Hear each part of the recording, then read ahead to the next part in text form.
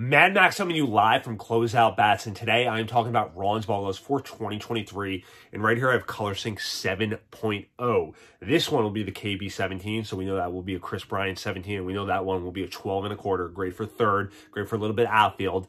Uh, pretty much one of the more popular sizes when it comes to outfield guys uh, that play a little bit of infield as well. Uh, they overall feel like this glove lets them play outfield, lets them play a little bit of infield, and who doesn't like the Kris Bryant glove? This one will have that H-Web to it, and a lot going on on Color Sync 7.0. We got some new colors that we see, maybe we don't see enough in the market. This one will actually have the sherry one to it. I had to do a double take. You're going to see that sherry, which uh, we have a couple here in store, but it just doesn't seem like it is uh, one of the more colors that they pump out there. You're going to have blonde going on this glove. You're going to have, of course, that hand-sewn welt, which is going to be that space in between. You're going to see right there hand-sewn welt on this side and hand-sewn welt on this side, which gives uh, thumb and pinky a little bit more breathing room. And this one will, of course, have navy writing to it, navy kind of lace, which then the color sync patch will have navy to it. And you're going to have that saddle tan kind of going on the outside of the binding, which overall allows for uh, just kind of a nice custom feel to this glove. Now, Color Sync 1 was giving a custom glove at a regular Heart of the Hide price, and Color Sync 7.0 is doing that same thing.